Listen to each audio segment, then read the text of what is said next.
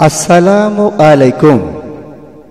প্রিয় ইসলাম দরদি বন্ধুগণ ভাতসালা উত্তরপাড়া যুবকবৃন্দের পরিচালনায় অনুষ্ঠিত বাৎসরিক ইসাল সব মাহফিলে কোরআন ও হাদিসের তথ্য সম্বলিত সমাজের উন্নয়নের লক্ষ্যে বিশেষ বক্তব্য রাখছেন হজরত মাওলানা রজব আলী সাহেব, শিক্ষক আমিনপুর সিনিয়র মাদ্রাসা ক্যাসেটটির শব্দ ধারণে ও computerise পরিস্ফুটনে mobile Monalisa and audio Bagjola বাজার বাসতলা মোড় إن الله وملائكته يصلون على النبي يا أيها الذين آمنوا صلوا عليه وسلموا تسليما اللهم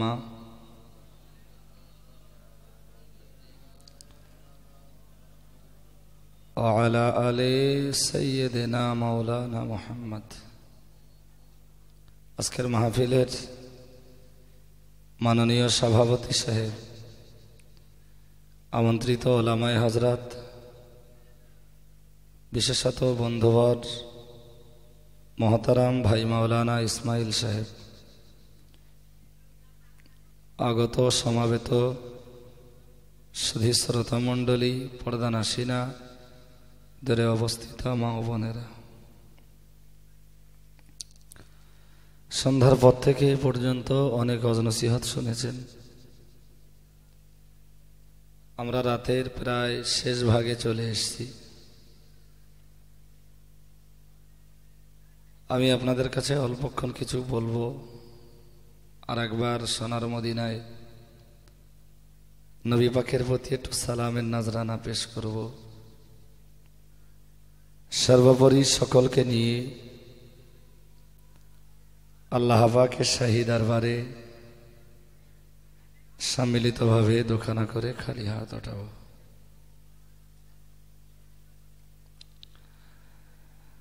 আমার যেটা মনে হয়, দিন ইসলামের জন্যে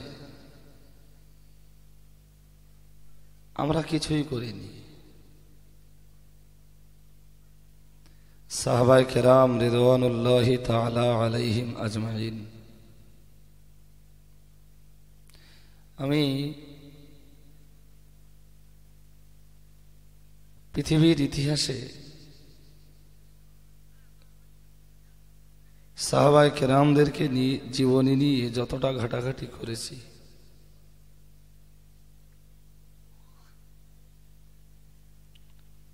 কারোর কবর বসরায় কারও বা কবর,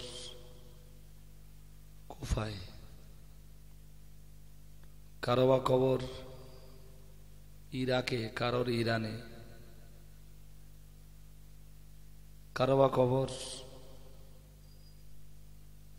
আফ্রিকায়। আবার কারও বা কবর দামেশকে দিন ইসলামের প্রচার আর প্রসারের জন্যে তাম পৃথিবীর বিভিন্ন প্রান্তে সাহাবায় কেরামরা শুয়ে পড়েছেন ছড়িয়ে পড়েছিলেন সেখানেই তারা শুয়ে পড়েছেন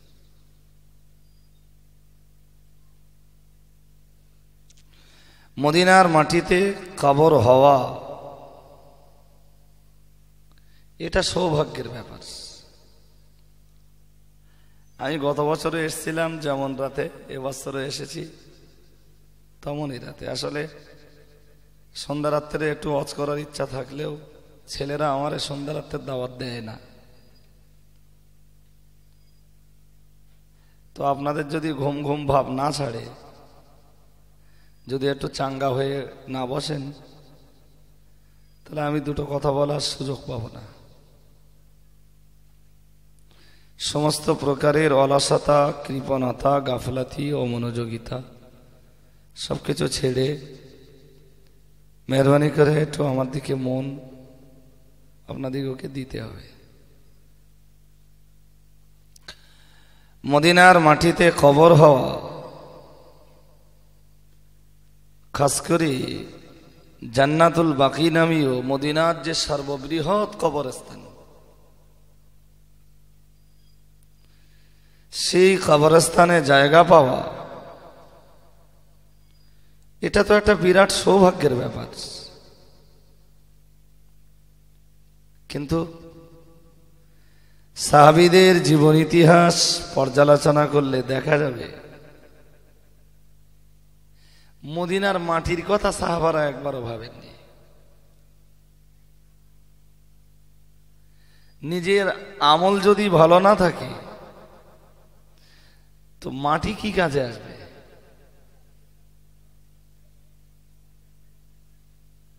আবু জেহেলের মরণ তো হয়েছে বদরের মাটিতে।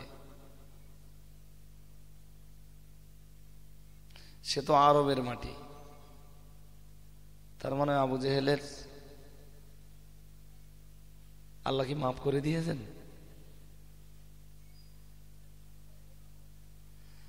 আবুল আহাবের মরণ হয়েছে মক্কার মাটিতে। কোরআন তাকে জাহান্নামী ঘোষণা দিয়েছে। পৃথিবীর কোন মানুষের নাজাত মাটিতে নয়, বংশে নয়, রক্তে নয়, টাকায় নয়। মানুষের নাজাত হতে পারে তার আমলে।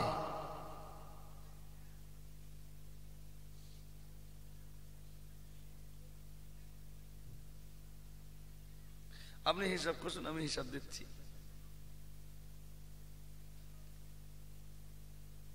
নবীর ছেলে কেনান জাহান নামী আদম নবীর বেটা, আদম নবীর বেটা কাবিল জাহান নামী আবার আবু জেহেলের বেটা ইকরামা জান্নাতি। সোহান আল্লাহ বলবেন? একটু মোহাব্বত করে বলবেন সোহান আল্লাহ আচ্ছা আবু জেহেলের রক্ত ভালো হবে? কেউ কোনোদিন বিশ্বাস করেছিল?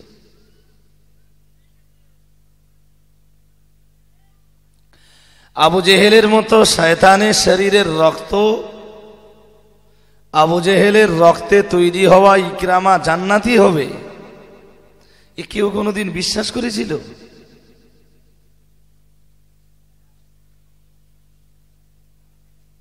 অথচ ইকরামা ইমান এনেছে।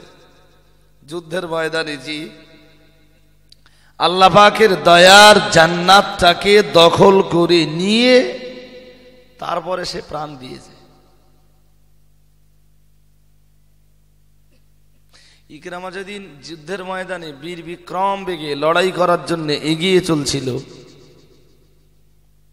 হজরত খালিদ ইবনুল ওয়ালিদ ছিলেন ওই যুদ্ধের কমান্ডার ইন চিফ।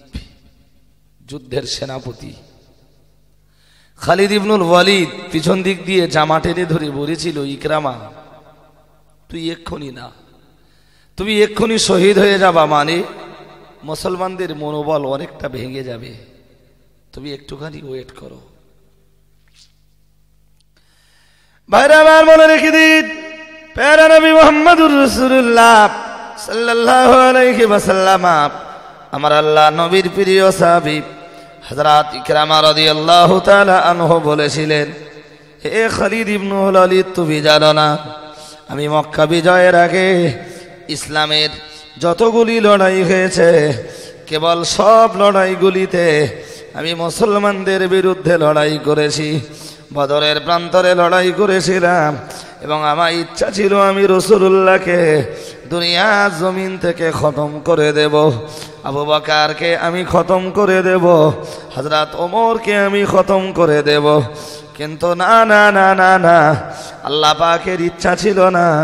আবু বাকার, ওমর আর রসুল্লাহর একটা পশম পর্যন্ত আমি আঘাত করতে পারিনি। আমি যেদিন ওহদের ময়দানে নেমেছিলাম, সেদিনও আমি টার্গেট নিয়েছিলাম। প্রিয় নবী মোহাম্মদুর রসুল্লাহ সাল্লাহ আলাইহি বাসাল্লামকে আমি যে কোনো মূল্যেই হোক খতম করে দেব দুনিয়া থেকে। দুনিয়া ছাড়া করব। কিন্তু না না না না না, আমি ওহদের প্রান্তরেও পারিনি গো। আমার মতো পাপি আসমানের নিচে আর জমিনের উপরে কে আছে আর আমি বলতে পারব না। ওরে রসুলের সাহাবি ইকরামা, আজ মহান আল্লাহ আমায় সুযোগ করে দিয়েছেন। তুমি আমাকে একটু সুযোগ দাও। আমি জাহাদের ময়দানে নেমে ইসলামের কিছু দুশ্মনকে অন্তত জাহান নামে পাঠিয়ে দেই। বলেন। আর একটু মহব্বত করে বলেন। আপনি তো কমান্ডার ইন চিফ। আমার জামা টেনে ধরেন না। আমার একটুখানি ছেড়ে দেন। আমার একটু আগাতে দেন। আমি কিছু ইসলামের দুশ্মনকে অন্তত জাহান নামে পাঠাই। সেদিন বদরের যুদ্ধে আর ওহদের যুদ্ধে নেবে। আমি রসুলুল্লাহকে মারতে উদ্যত হয়ে যে গোনাটা করেছিলাম, সেই গোনাটার একটু প্রায়শ্চিত্ত করি। আল্লাহ যেন আমারে মাফ করে দেন। আমি ইকেরামা আমার এখনও মনে হয়নি যে আল্লাহ আমারে মাফ করেছেন।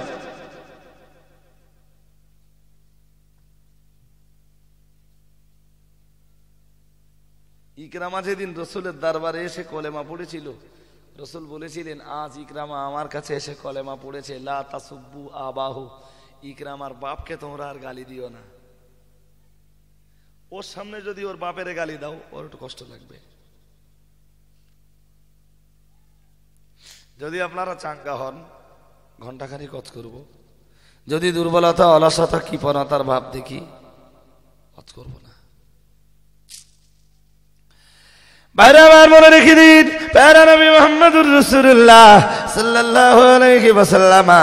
আমার আল্লাহ নবীর প্রিয় সাহাবী হযরত ইকরামা রাদিয়াল্লাহু তাআলা আনহু বলেছিলেন, ওরে খালিদ ইবনুল ওয়ালিদ, আপনি যদিও যুদ্ধের সেনাপতি, যুদ্ধের জয় পরাজয় অনেকটা জেহাদের ময়দানের সেনাপতির উপরে নির্ভরশীল হয়ে যায়। আপনার কথা অবশ্যই মান্যতা দেওয়া দরকার, আপনার কথার অবশ্যই গুরুত্ব দেওয়া দরকার। তবে আমি ইকরামা, আমায় একটু ছেড়ে দেন। আমার বিগত জীবনের পাপের জন্যে আল্লাহ পাকের কাছে, আল্লাহ পাকের কাছে আমি ক্ষমা চেয়েছি কিন্তু তাতেও যেন আমায় মনে হয়েছে, মহান আল্লাহ আমায় ক্ষমা করেননি। আজ ইসলামের চরম চরম কিছু দুশ্মনকে জাহান নামে পাঠিয়ে দিয়ে আমি আল্লাহ দয়ার জান্নাতটাকে দুনিয়া থেকে দখল করে নেব। ও বাবাজিরা, ভাইরা, মাথায় রাখুন, প্রিয় নবী মোহাম্মদুর রসুল্লাহ সাল্লাল্লাহু আলাইহি ওয়াসাল্লামার প্রিয় সাবিক রামা বলেছিলেন, হে যুদ্ধের ময়দানের কমান্ডার ইন চিফ সেনাপতি, আপনি আমায় ছেড়ে দেন, আপনি আমায় আটকে রেখেছেন, অথচ আমি ইকরামা তো আমার নাকে। আল্লাহ পাকের দয়ার জান্নাতের সুগন্ধি শুকতে পাচ্ছি। একটু মহব্বত করে বলেন, আপনি আমারে আটকে রাখতে চাইছেন, আমি তো জান্নাতের সুগন্ধি পাচ্ছি। কেন আপনি আমারে আটকে রেখেছেন? এই যুদ্ধের ময়দানে ইসলামের দুশ্মনদের জীবন যদি নিতে পারি, সেটাও আমার জন্য কল্যাণ। আর ইসলামের দুশ্মনদের এগেনস্টে লড়তে যে আমার জীবন যদি চলে যায়, সেটাও আমার জন্যে কল্যাণ। কিচ্ছু করিস ইসলামের জন্য? এক ফোঁটা রক্তও ঝরেছে।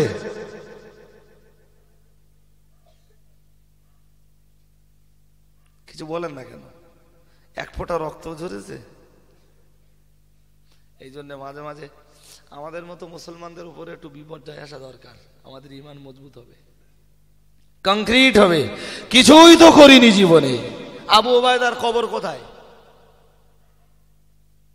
আবু ওবায়দার কবর তো আফ্রিকায়। তিনি ইসলামের জন্য কোনটা করেননি? কোনটা করেননি আবু ওবায়দা সাদ ইবনে আবি অক্কাসের কবর কোথায়?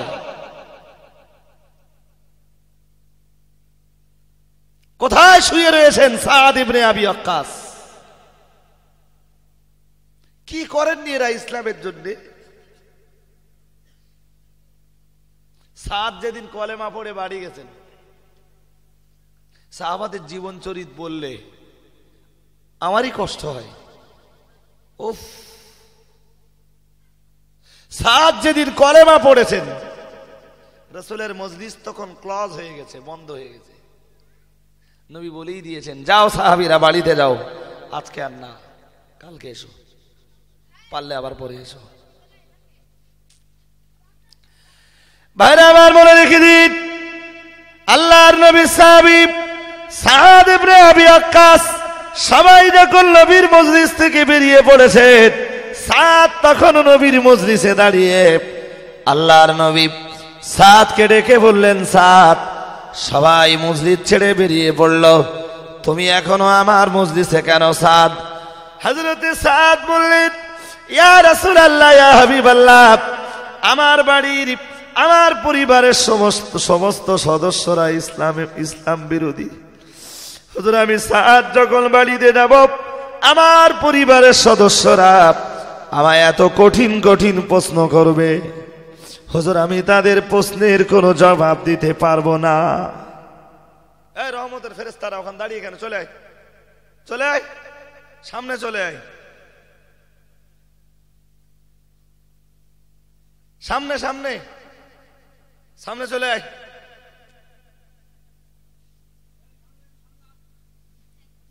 চলে আয়, তোদেরই অস অশোনাবো আজকে চলে আয়। বস, সামনে বস। হ্যাঁ। আপনাদের অসুবিধা হচ্ছে নাকি? মসজিদ যত চাঙ্গা হবে, আমার রস তত ভালো হবে। আর আপনারা ঘুমাবেন তো, আমার রস আস্তে আস্তে জিমিয়ে যাবে। সাদ রসুলের দরবারে দাঁড়িয়ে তখন সবাই চলে যাচ্ছেন। নবী বলছেন, "এ সাদ, তুমি দাঁড়িয়ে সাদ বলছেন, হুজুর, আমার পরিবারের সদস্যরা সব ইসলাম বিরোধী। আমার শুধু ভয় হচ্ছে, হুজুর। আমি বাড়িতে গেলে আমি কি জবাব দেব? আমার পরিবারের সদস্যদের কাছে আমি কি জবাব দেব? তাদের প্রশ্নের কাছে আমি দাঁড়াবো কি করে? ভাইরা মনে রেখে দিন আল্লাহ রবি সারোয়ারি কায়রাত মোহাম্মদুর রসুল্লাহ সাল্লাল্লাহু আলাইহি ওয়াসাল্লামাত প্রিয় সাহাবী সাদ বললেন, হুজুর, আমার পরিবারের সদস্যদের ভিতরে আমার জননী, আমার মা বড় বুদ্ধিমতী। হুজুর, আমার বড় ভয় হয়। আমি আমার মায়ের প্রশ্নের কাছে কি করে জবাব দেব? হুজুর, ইতিপূর্বে আমার মায়ের সাথে আমার অনেকবার বাগবিতান্ডা হয়েছে। কিন্তু যতবার বাগবিতান্ডা হয়েছে বহুবার দেখা গেছে, আমি আমার মায়ের বুদ্ধি আর যুক্তির কাছে হেরে গেছি। এর আগেই তো অনেক ঘটনা ঘটেছে, যেখানে আমার মা একদিকে, আমি আর একদিকে। আমি আমার মায়ের কাছে হেরে গেছি। আজকে আমার ভয় হচ্ছে, আমার মায়ের কাছে হেরে যাই কিনা। আর আমি যে ইসলাম কবুল করেছি, এতক্ষণে আমার মায়ের কাছে খবর পৌঁছে গেছে। বলুন, আমার এখন করণীয় কি? আল্লাহর নবী বললেন, সাদ, তুমি বাড়িতে চলে যাও। তোমার মায়ের প্রশ্নের জবাব তোমার মতো ব্রিন আল্লাহ তোমাকে দান করবেন। তোমার মায়ের প্রশ্নের জবাবগুলি আল্লাহ তোমার ব্রেনের ভিতরে জুগিয়ে দেবেন। হজরতে সাদ নবীজির ডেকে বললেন, ইয়া রাসূল আল্লাহ আল্লাহ তো আমায় জবাব জুগিয়ে দেবেন। কিন্তু হুজুর বিশ্ব নবীর দোয়াটা যদি সাদের একটু সঙ্গী হয়ে যায়, সেটা কি সাদের জন্য ভালো নয়? হযরত সাদ ইবনে আবি ওয়াক্কাস রাদিয়াল্লাহু তাআলা আনহু, আল্লাহ নবীর বললেন, ইয়া রাসূলুল্লাহ, সাহেবে নবুয়াত বিশ্ব নবীর দোয়া একটু চাই। বিশ্ব নবী যেন আমার জন্য একটু দোয়া করেন। আল্লাহ নবী বললেন সাত কেদনা রে সাত কেদনা বাড়িতে চলে যাও। বিশ্বনবী দোয়া তোমার জন্যে। তোমার পিছনে তোমারে তাড়া করে বেড়াবে। একটু মহব্বত করে বলুন। একটু মহব্বত করে বলুন। যা বাড়িতে যাও। যাও তোমার মা তোমারে যা প্রশ্ন করবেন। তোমার মায়ের প্রশ্নের জবাব আল্লাহ তোমার জুগিয়ে দেবেন আর নবীর দোয়া তোমার সাথে আছে, যাও। সাদ আস্তে আস্তে বাড়ির দিকে রওনা দিলেন। বাড়িতে পৌঁছে গেলেন। বাড়িতে পৌঁছাতেই মা তাকে ডাকলেন। ডেকে বললেন, সাদ, কোথায় ছিলি? হযরতে সাদ ইবনে আবি রাদিয়াল্লাহু তাআলা আনহু বললেন, ইয়া রাসূলুল্লাহ, ইয়া হাবিবাল্লাহ, ও বাবা দিরা ভাইরা, সাদ বাড়িতে গেলেন। মা তারি ডেকে বললেন, বেটা সাদ, কোথায় চিনি বেটা? হাজরাত সাদ বললেন, হি আমার আম্মা আমি এমন এক দরবারে ছিলাম এমন এক মহামনীষীর দরবার থেকে আসছি জননী। যে মহামনীষীকে জীবনে কেউ কোনোদিন মিথ্যা কথা বলতে দেখিনি। সোনাল্লাহ বলেন, আর একটু মন খুলে বলেন না। কচি সিনেমা দেখে বাড়ি গেছে। মা জিজ্ঞেস করেছে, কোথায় ছিলি? তাহলে ফোম্মাদের বাড়ি গেছিলাম। আমার দিকে মন দেন। অনেক রাতের অস্ত কচি যাত্রায় গিয়েছিল। ওর মা ওরে বাড়ি যেতে জিজ্ঞেস করেছে, আর তোরে আজকে এত রাত হলো কেন রে? এখন তো রাত সাড়ে এগারোটা বাজে। তুই তো এত রাত কোনোদিন করিস না? বলছে, মা, আমি মামাদের বাড়ি ছিলাম। আসতে একটু দেরি হয়ে গেছে।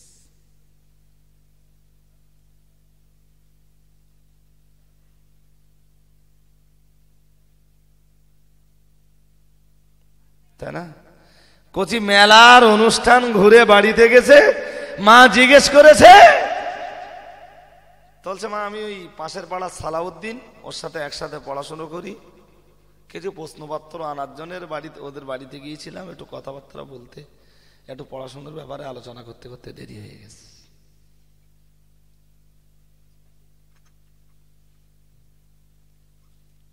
কচি, কতটা ভালো হবে?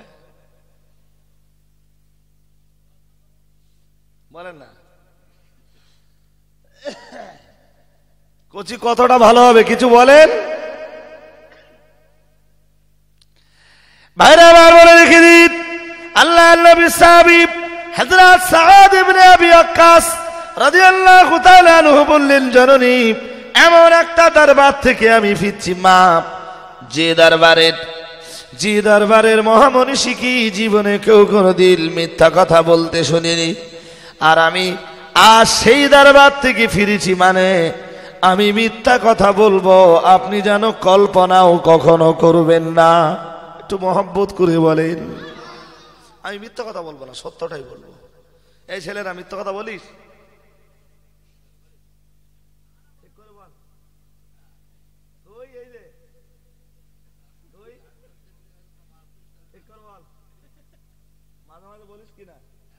মিথ্যা কথা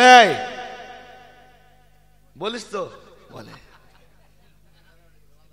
গেল। তোমরা কটা ফেরেস্তা না?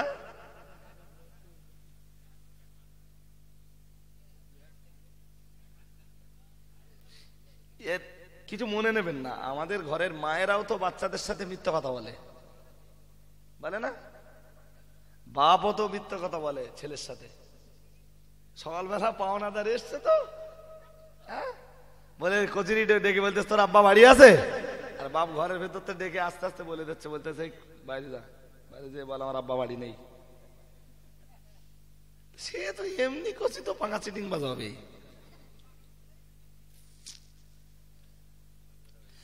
আল্লাহর নবী আবে আবু আমেরের বাড়িতে গেলেন। হযরত আবু আমের তখন ছোট। আল্লাহর নবী সাহাবীব হযরত আবু আমেরের মা আবু আমেরকে খাবার দেবার নামে ডাকছেন। আর আবু আমের মায়ের কাছে যখন চলে গেলেন, মা মুষ্টিটা খুলে বললেন, বাবা, তোরে খাবার দেবার নামে যদি না ডাকতাম, তুই তো আসতিস না। আল্লাহর নবী আবু আমিরের মারে ডেকে বললেন, আবু আমিরের মা, একটা মিথ্যা কথা বললি, যতটা যতটা গোনা হয় আজ তুমি তোমার বেটার সঙ্গে যা করেছ, আল্লাহ তালা একটা মিথ্যার গোনা তোমার আমল নামাতে লিপিবদ্ধ করে দেবেন। তুমি তোমার বেটাকে এই যা শেখাচ্ছ, ও তো আর কদিন বাদে এমনি ভাববে যে আমার মায়ের চেয়ে বড় চিটিং মাজার কেউ নেই। মা প্রতিদিন বলে, তুই আজকে দিন স্কুল যা, তোর বাপ কালকে সাইকেল কিনে দেবে।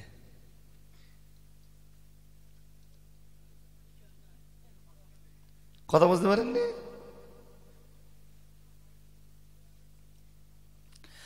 ভাইরা, আবার বলে রেখে দিন।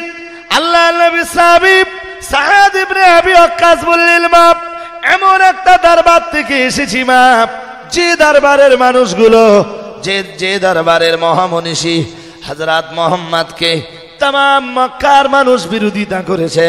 জননী বেয়াদবি দেবেন না, কিন্তু যারাই বিরোধিতা করেছে তারাই আবার তার নাম দিয়েছে আল আমিন।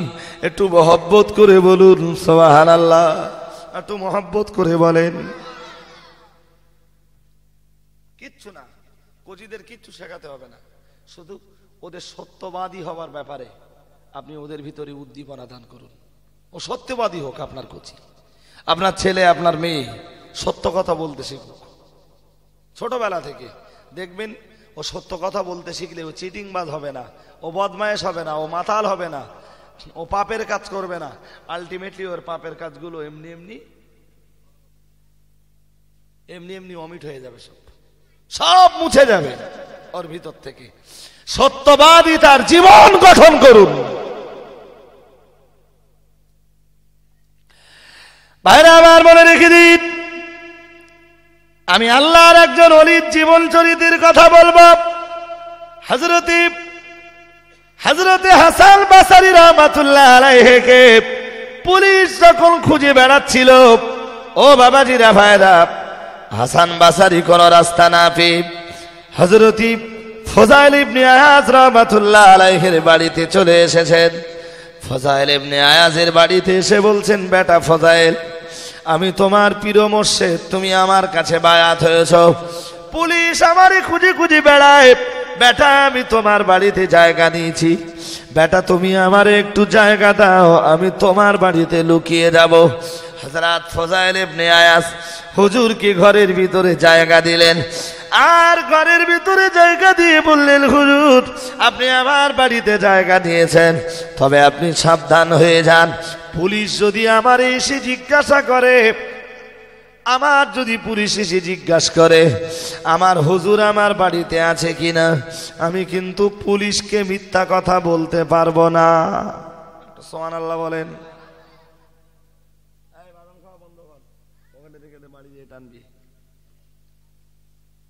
কথা বুঝলি হ্যাঁ? শোনেন হাসান বাসারি লুকিয়েছেন ফজাইল এমনি আয়াসের বাড়ি। আর বলেছেন বেটা পুলিশ আমারে খুঁজে বেড়াচ্ছে পুলিশ আমার পাকড়াও করে নিয়ে যাবে জেলে ভরে দেবে। তা আমি তোমার বাড়িতে লোকাচ্ছি। ফজাইল এমনি আয়াস পীরকে জায়গা করে দিয়েছেন নিজের বাড়িতে। আর নিজের বাড়িতে জায়গা করে দিয়ে বলছেন শোনো পীর সাহেবকে ডেকে বলছেন হুজুর সব ভালো, আমার বাড়িতে আপনি জায়গা নেন। কিন্তু পুলিশ এসে যদি জিজ্ঞেস করে যে তোমার পীর তোমার বাড়ি আছে? আমি পুলিশের কাছে বলো, মিথ্যা কথা বলব না। একটু সোহান আল্লাহ বলেন। একটু মহব্বত করে বলেন। আমি আমার পীরের জন্য মিথ্যা কথা বলতে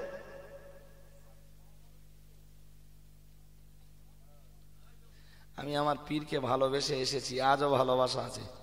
যতদিন বেঁচে থাকব, আমার পীরের ভালোবাসা আমার অন্তরে থাকবে। তবে তার মানে এই নয় যে আমার পীরের জন্য আমি মিথ্যা কথা বলব। পীর যখনই আসবে তখন সত্য কথা। আমার পীরের ব্যাপারে খোঁজ নিতে এলে আমি সত্য কথাই পুলিশকে বলব। হাজরাত হাসান বাসারি ঘরের ভিতরে লুকিয়েছেন। কিছুক্ষণ বাদে পুলিশ এসে জিজ্ঞাসা করছে, হে ফজাইল আয়াস, আমাদের কাছে ইনফরমেশন আছে, তোমার হুজুর তো তোমার বাড়িতে আছে। ফজাইল বললেন ইনফরমেশন আছে? তাহলে আছে। তো যান, খুঁজে দেখেন, থাকে আমার হুজুরকে নিয়ে যান। সত্যি বলেছেন না মিথ্যে বলেছেন? সত্যি বলেছে? এই ছেলে, সত্যি বলেছে? হ্যাঁ? পুলিশ এসে বলছে ইনফরমেশন আছে। আপনার হুজুর আপনার বাড়িতে আছে। ফজাইল এমনি আয়াজ বলছেন ইনফরমেশন যদি ঠিক থাকে, খুঁজে দেখেন। মিথ্যে বলেছে? খুঁজে দেখতে বলেছে। মিথ্যে কথা হলো?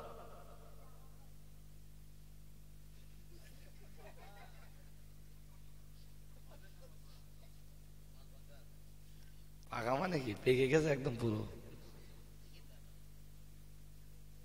বোঝে না বলতে চাচ্ছেন? কি বলে জানেন? বলতে বলেছে নাকি? যে আমার বাড়ি আছে।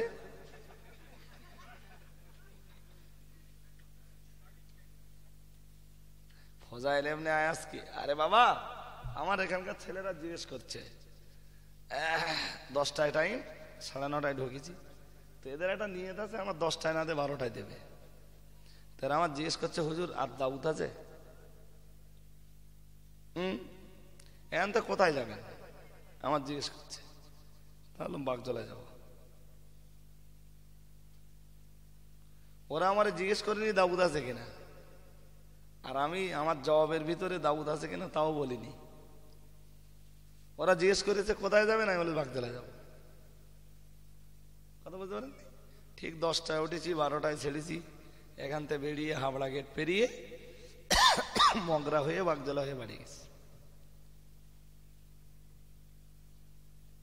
মিথ্যা কথা হলো? সত্যি হলো।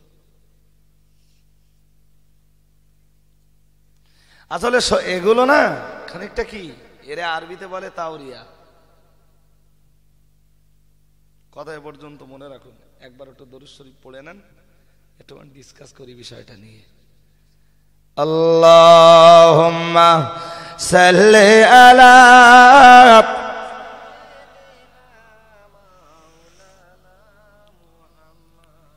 وعلى آله سيدنا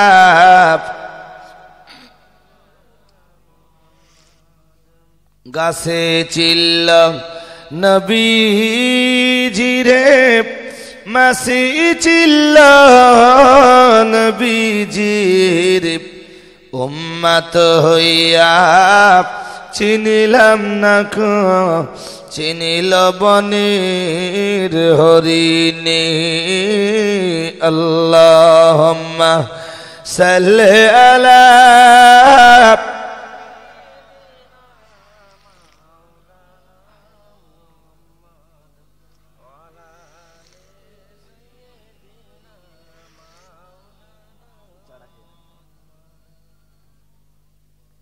চাচা হইয়া আবু জাহাল নবীর কালিমা পড়ল না।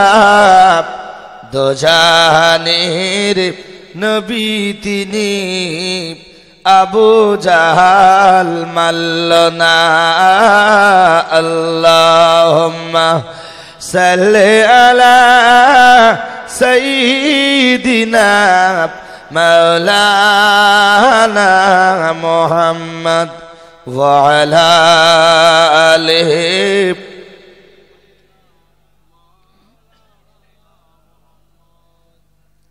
বসিরাট হুজুর যখন প্রাথমিক স্টেজের লেখাপড়াটা শেষ করলেন পড়তেন বসিরহাটের সফি আব্দুল সাফি রহমাতুল্লাহ আলাইহের কাছে তিনি আল্লাহর একজন অলি ছিলেন, সফি আব্দুল সাফি। বসিরহাট হুজুরের মূল বাড়ি ছিল টাকি নারায়ণপুর।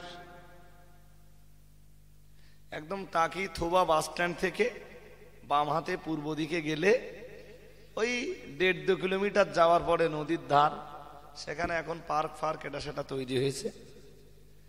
সেই টাকি নারায়ণপুর গ্রামটা একদম পুরো নদীগত হয়ে গেছে। পুরো নদীতে চলে গেছে। তার কোনো অস্তিত্ব নেই এখন। এক ঘর মানুষেরও বসবাস নেই। খানিকটা হয়ে গেছে ওপারের চর। আর অধিকাংশটাই এখনও নদীতে। আর টাকি নদীটা ইসামতি নদীর এখন অনেক চওড়া নদী। তো বসিরহাট হুজুর, ওখান থেকে ভোরবেলা বার হবেন। রাত্রেবেলা, রাত দুটো আড়াইটের সময়। মায়ের কাছে দোয়া নিয়ে মা তখন তাহাজ্জদের নামাজে।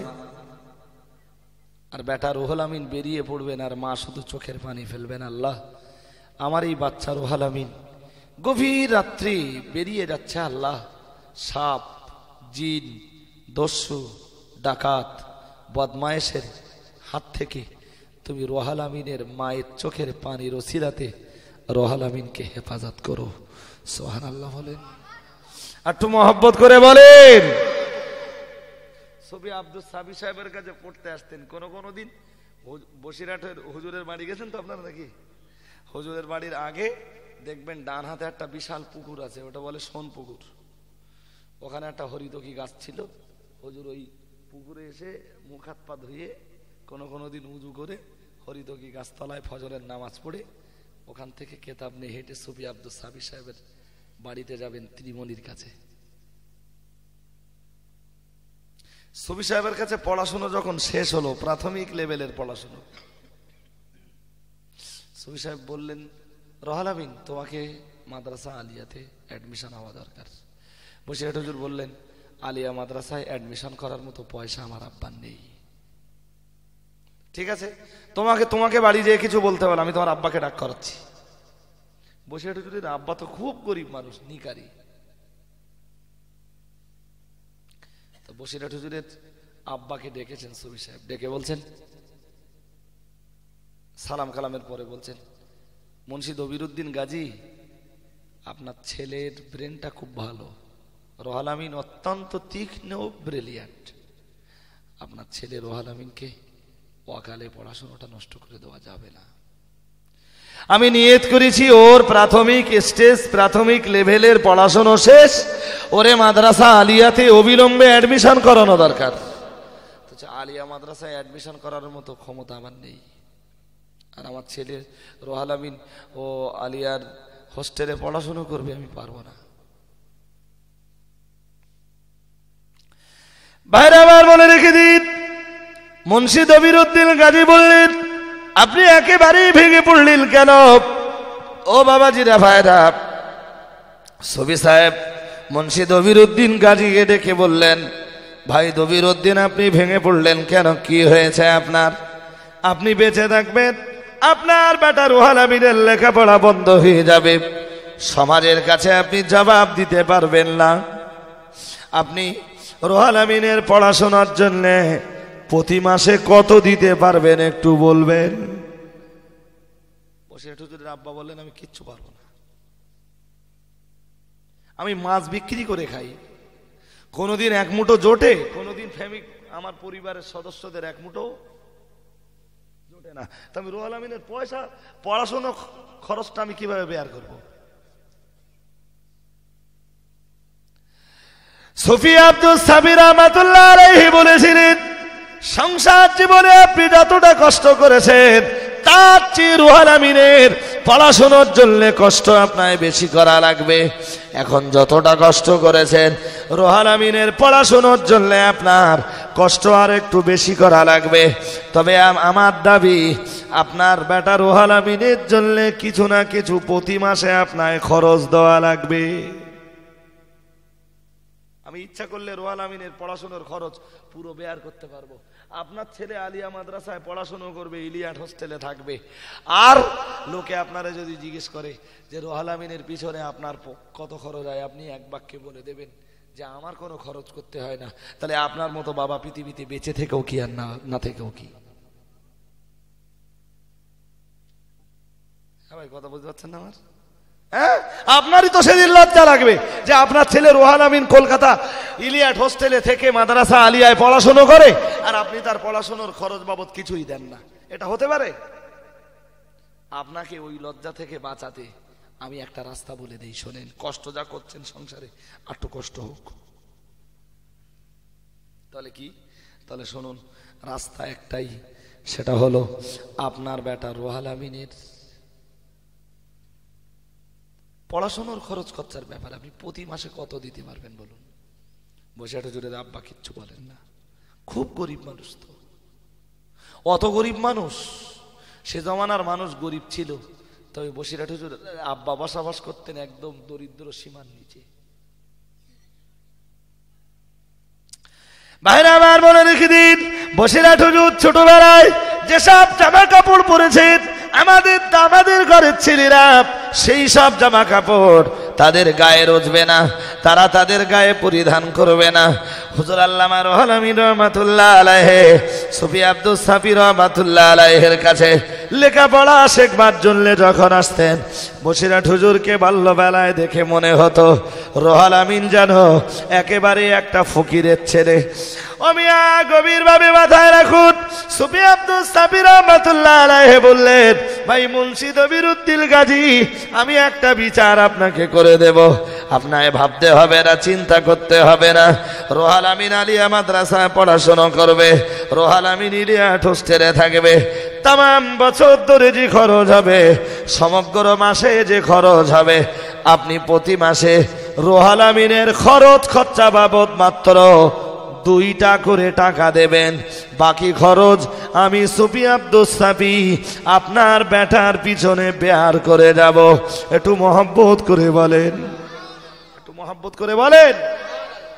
আপনাকে বেয়ার করতে হবে না। শুধু দু টাকা করে মাস যাবে আমার কাছে দেবেন। আর আমি ওরে পড়াবো। সেই জামানায় দু টাকার দাম ছিল।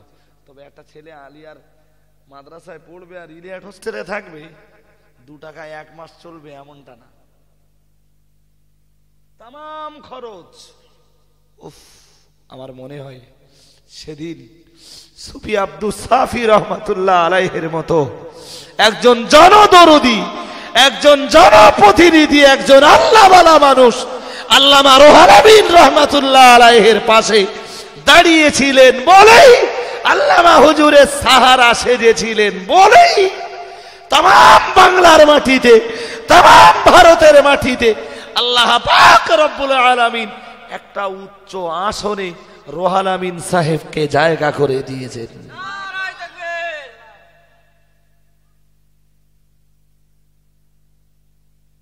আসলে ইতিহাস তাই বলে।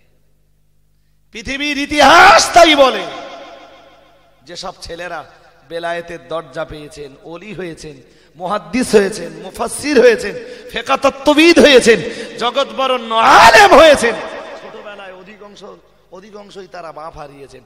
আর বাপ যদি বেঁচেও থাকে, এত গরিব, সে গরিবতার কথা বলে শেষ করা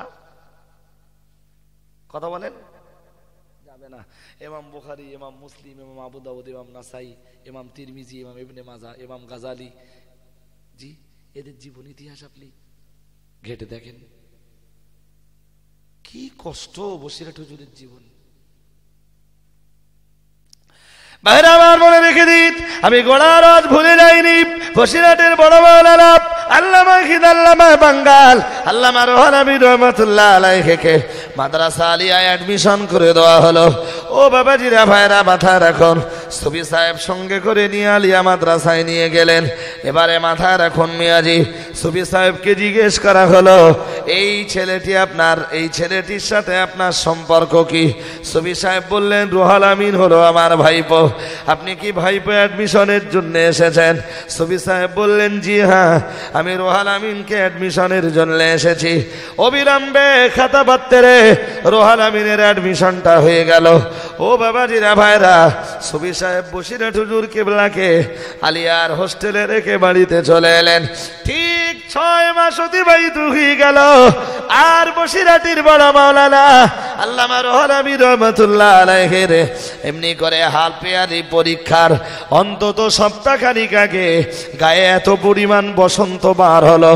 বসিরাটের হুজুর ইলিয়াট হোস্টেলে থাকতে পারলেন না। যুগের বসন্ত আর সে যুগের বসন্ত একটু পার্থক্য ছিল। তখন বসন্ত হলে মানুষ বাঁচত না। বসন্তের ভয়ে গ্রাম কি গ্রাম? মানুষ গ্রাম খেরে ছেড়ে চলে যেত আর গ্রাম কি গ্রাম সেই জমানায় উজাড় হয়ে যেত। আমার কথা বলতে পারেননি? হ্যাঁ? ভাই, অনেক অনেক জায়গায় দেখেছেন, জঙ্গলের ভিতরে মসজিদ পাওয়া গেছে। এরকম শুনেছেন? শোনেননি? হ্যাঁ? বহু জায়গা আছে। ওই বাগজলার আশপাশে রায়কলায় যাবেন, যে জিজ্ঞেস করবেন। হ্যাঁ? রায়কলা জঙ্গল কাটতে কাটতে মসজিদ বেরিয়ে হলো কেন বলেন দিন? কেন?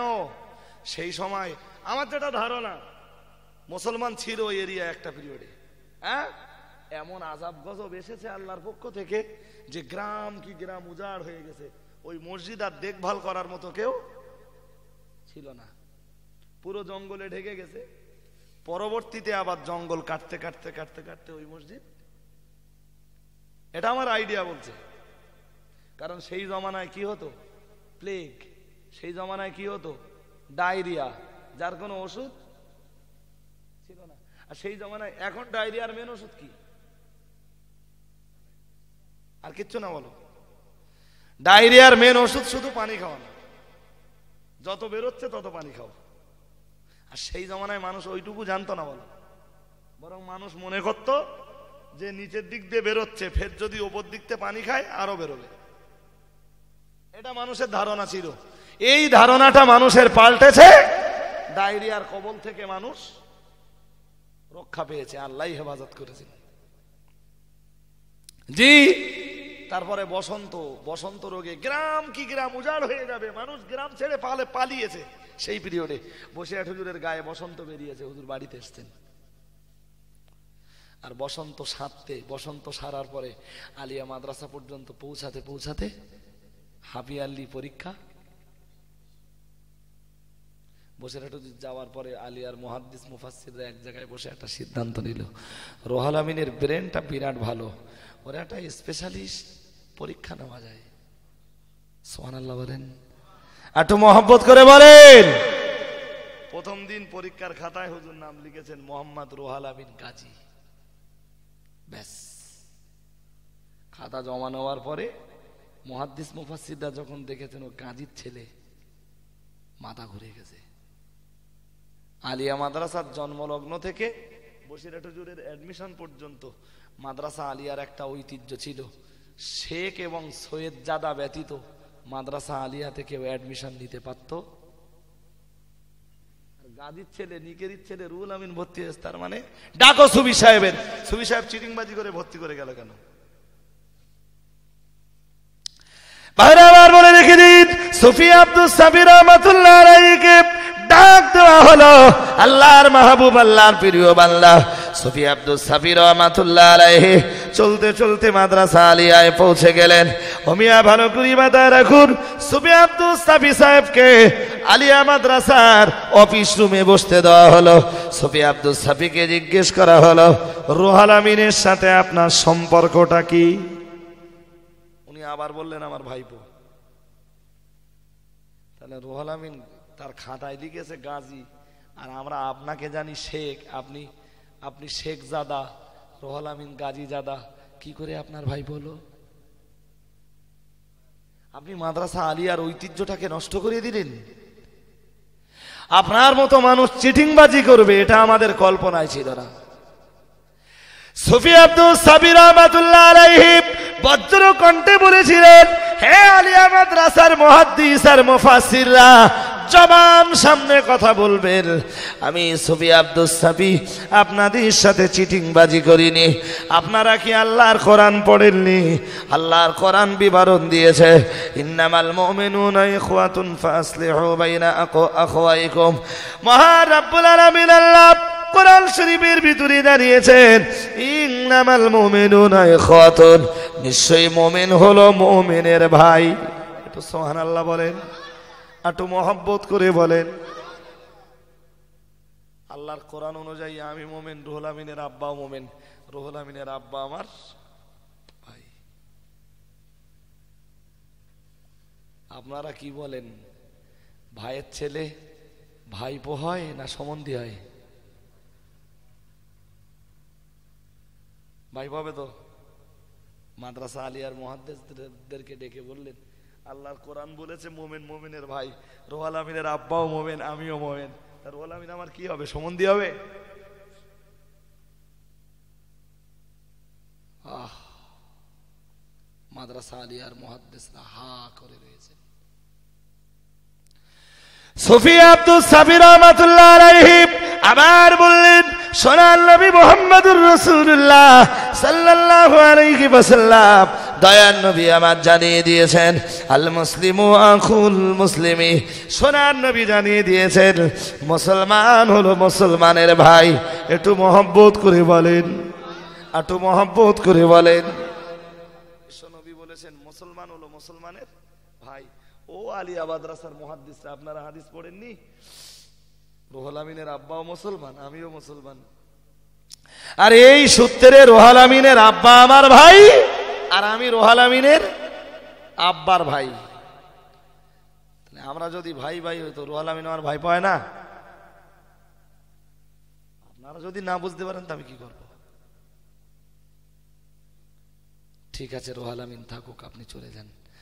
ওই যে বসিরহাট হুজুরকে যদি সেদিন সুফি আব্দুল সাহেব, সাফি সাহেব অ্যাডমিশন না করাতেন, আমাদের মতো দুর্ভাগারা মাদ্রাসা আলিয়ায় পড়াশুনো করার সুযোগ হয়তো? আরে কি কোন বংশের? আল্লাহর কাছে বংশের কোনো মূল্য আছে নাকি? কথা বলেন। আল্লাহর কাছে রক্ত আর বংশের কোনো মূল্য আছে? তামাম দেশ দেশের মাটিতে এই কথা প্রচার করেই তো দেশের একটা শ্রেণির মানুষের কাছে বিরাট দোষী হয়ে গেছে। বিরাট অপরাধী হয়ে গেছে। একদম পরিষ্কার করে বলি পরিষ্কার করে দেশের মাটিতে বলেছি জন্ম তোমার যে ঘরেই হোক নেক আমল যদি তোমার না থাকে, তোমার নাজাত। কথা বলেন? তোমার জন্ম পীরের ঘরে না নবীর ঘরে, ওটা বড় কথা না। তুমি কি করো সেইটা বলো। নাকি? হাজির ঘরে জন্ম নিলে তার নাজাত এমনি হয়ে যাবে। হ্যাঁ? সে ফেরেস্তা কটা উঠে গেছে বলো। ওই ফেরেস্তা কোথায় যাচ্ছিস? ওই!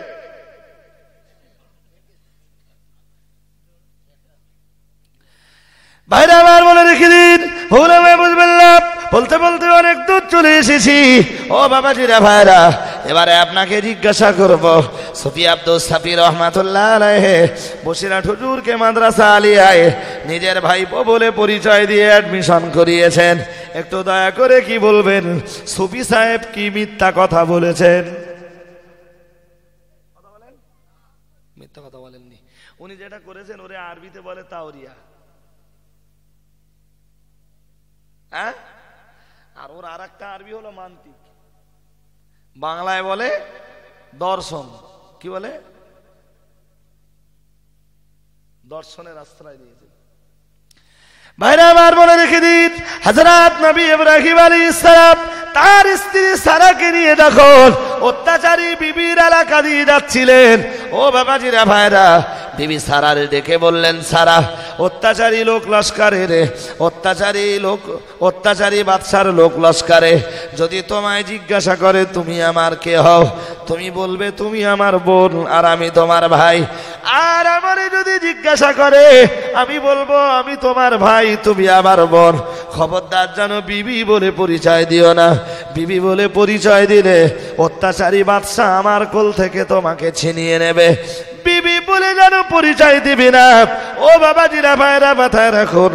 অত্যাচারী বাদশার লোক লক্ষাদের কাছে যখন চলে এলেন, বিবি সারা কেটে ডেকে আলাদা করে জিজ্ঞেস করা হলো, ওই ছেলেটি তোমার কে হয়?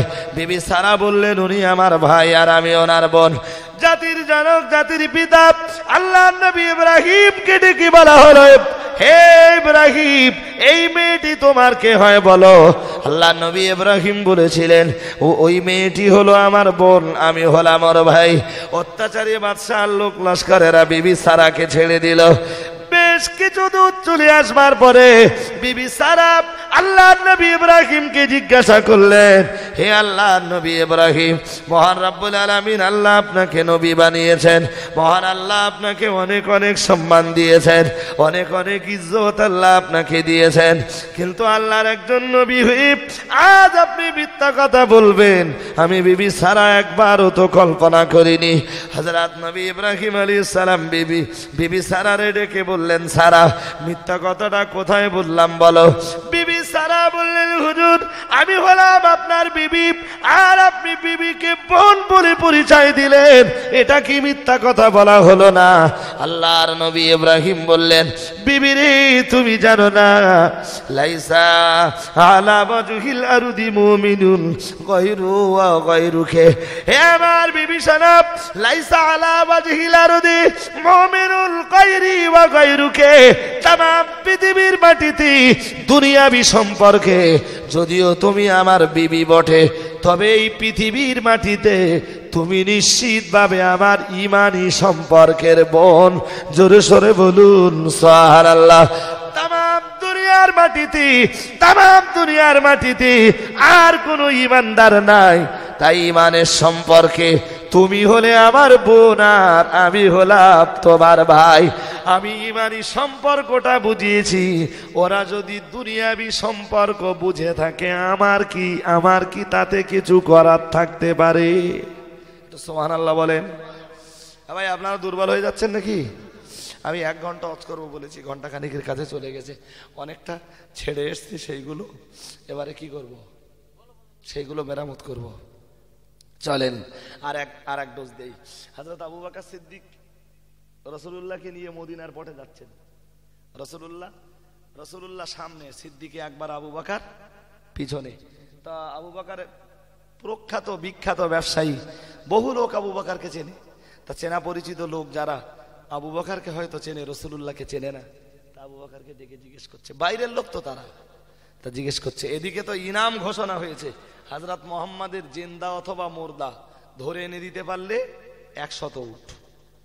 মক্কাবাসীরা ঘোষণা করেছে। আর তাম মক্কাবাসীরা তো রসুল্লাহকে খুঁজে বেড়াচ্ছে। আর আবু বাকারের সাথে বিদেশি ব্যবসায়ীদের সাথে দেখা হচ্ছে। আবু বাকার সিদ্দিক যদি বলেন, ইনি মোহাম্মদুর রসুল্লাহ তাহলে এরা আবার মক্কাবাসীদের খবর দিতে পারে যে হজরত মোহাম্মদ এই পথে গেছে। ভাই কথা বুঝতে পারছেন নাকি? আহ? তা আবু বাকারকে জিজ্ঞেস করছে, যার সাথে দেখা হচ্ছে? মান মানাহাদার রাজুল আল্লাদি মাক এ আবু বাকার, এ তোমার সঙ্গে লোকটা কে? আবু বাকার বলছেন, হাদা ইয়াহদিনি সাবিল। ইয়ে মুজকো রাহ বাতানেওয়ালা। ইনি আমার রাহবার, ইনি আমার পথ প্রদর্শক সোহান আল্লাহ বলেন। একটু মন খুলে বলেন। আর লোকে মনে করছে আবু বাকার প্রখ্যাত ব্যবসায়ী, এই রাস্তাটা চেনে না। আবু বাকারকে রাস্তা দেখিয়ে নিয়ে যাচ্ছে। আর আবু বাকার ভিতর দিয়ে বোঝাচ্ছেন, ইনি আমার দুনিয়ার রাহবার নন। ইনি আমার দুনিয়া, দুনিয়ার রাস্তা দেখান না। ইনি আমাকে আল্লাহ পাকের দয়ার জান্নাতের রাস্তা দেখিয়ে নিয়ে যাচ্ছেন। সোহান আল্লাহ বলেন। একটু মন খুলে বলেন। মিথ্যা কথা হলো ভাই? কথা বলেন না কেন? মিথ্যা কথা হলো? সত্য কথা বলেছেন?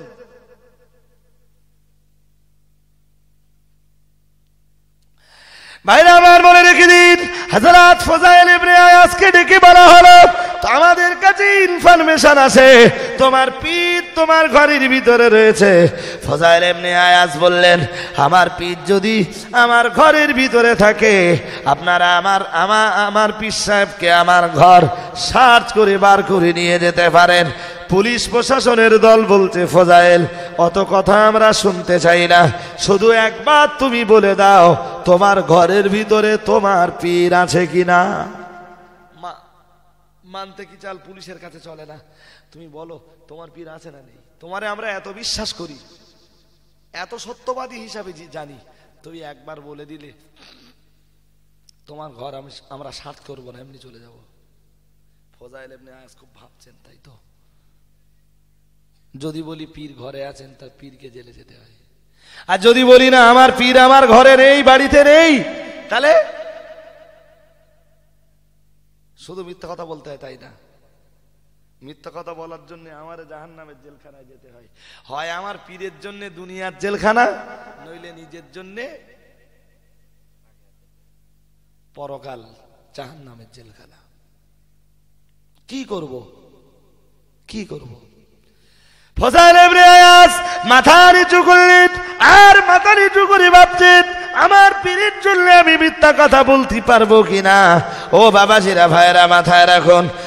মনে মনে মনে মনে সিদ্ধান্ত নিয়েছেন। আমি আমার পীরকে বাঁচানোর জন্য জাবাল থেকে একটা মিথ্যা কথা বললে পুলিশ চলে যাবে। আমার পীরকে দুনিয়ার জেলখানার ভিতরে যেতে হয় না। কিন্তু একটা মিথ্যা বলার জন্যে আমাকে তো জাহান্নামের জেলখানায় যেতে হয়। আল্লাহ আমার প্রতি নারাজ হয়ে যান। সোনার নবী আমার প্রতি অসন্তুষ্ট হয়ে যাবেন। কথা বললে আমার পীরকে খুশি করা যাবে? আল্লাহ মালিককে আমি খুশি করাতে পারব না। সারোয়ারে কায়নাত মোহাম্মদুর রসুল্লাহ সাল্লাল্লাহু আলাইহি ওয়াসাল্লামকে আমি খুশি করাতে পারব না।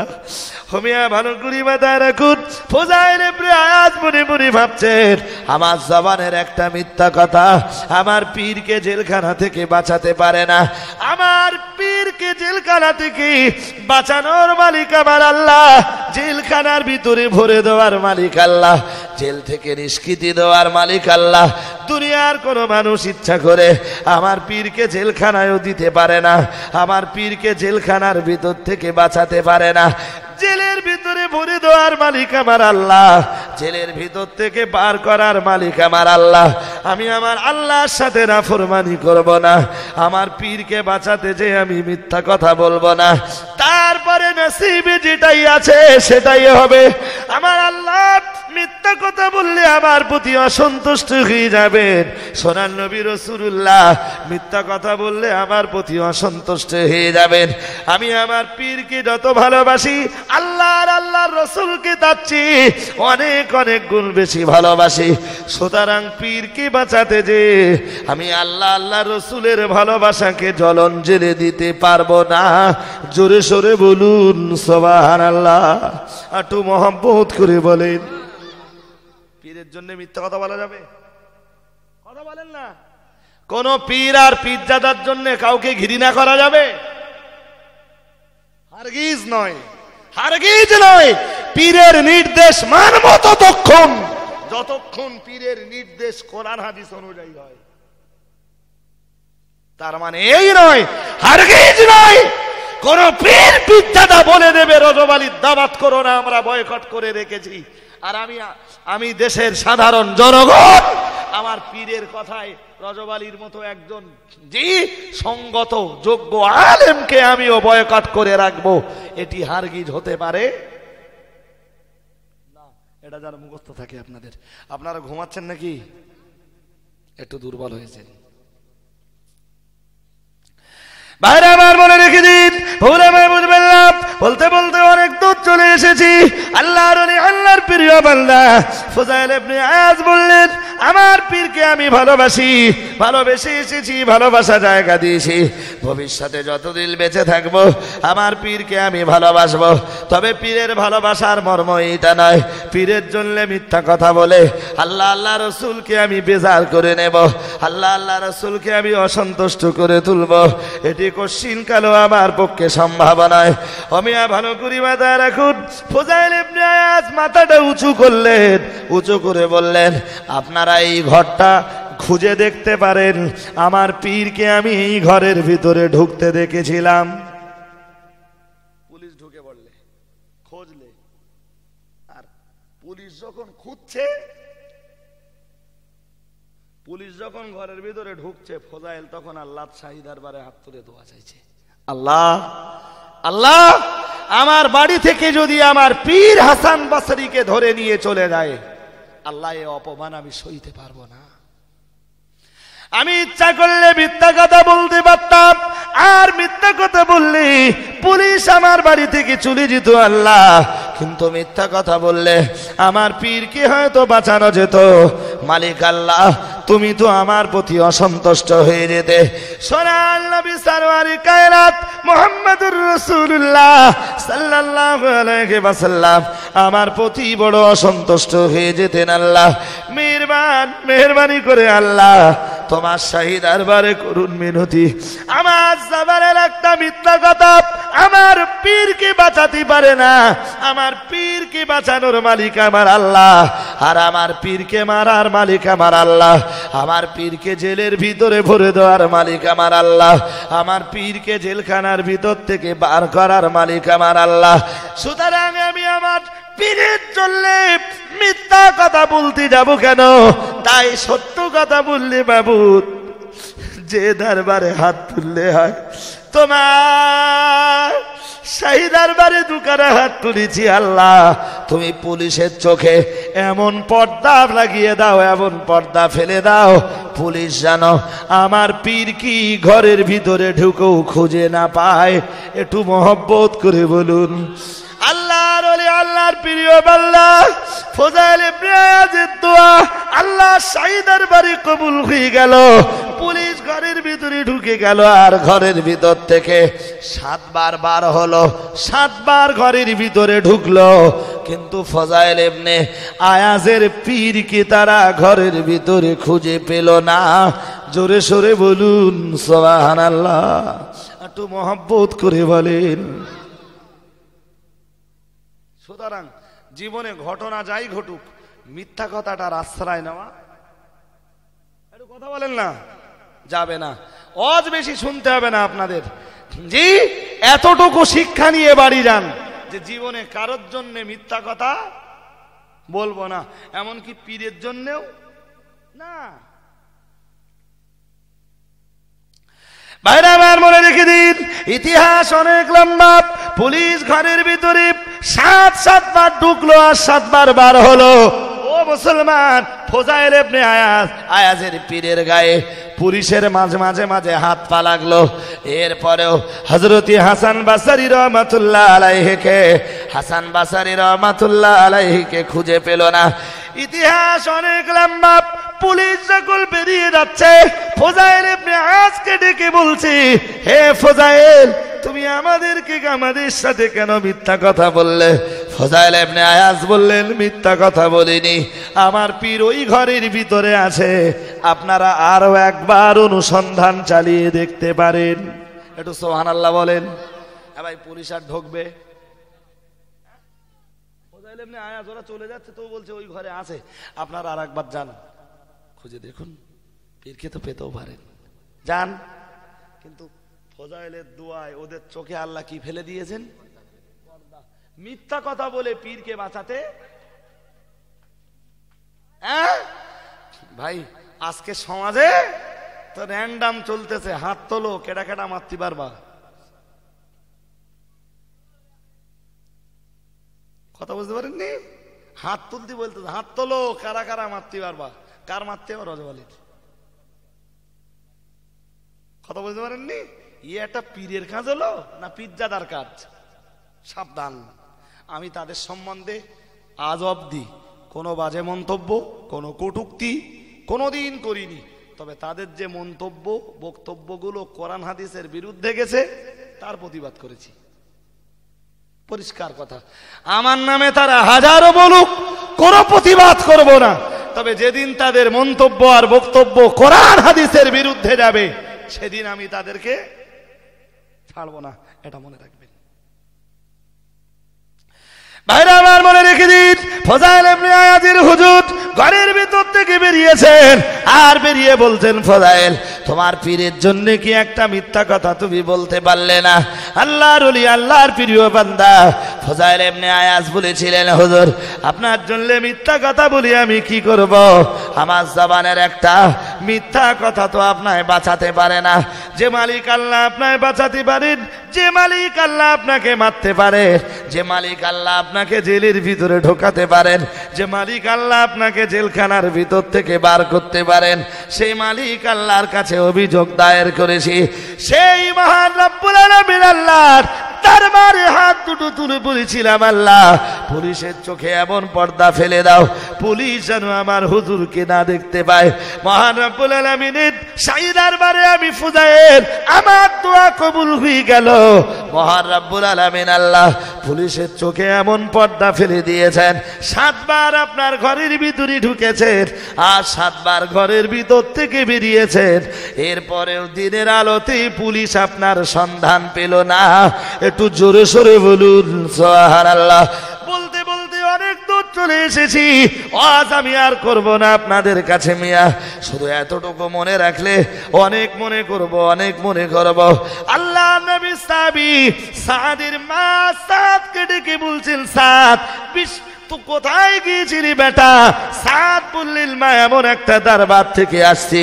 মক্কার বেদিন ধর্মহারারা, যে নবীর বিরুদ্ধে উঠে লেগেছে, অথবা এই বে, অথচ এই বেদিন সেই নবীকে আবার লাকাব দিয়েছে আলা আমিন, যার বাংলা মানে হলো চির সত্যবাদী।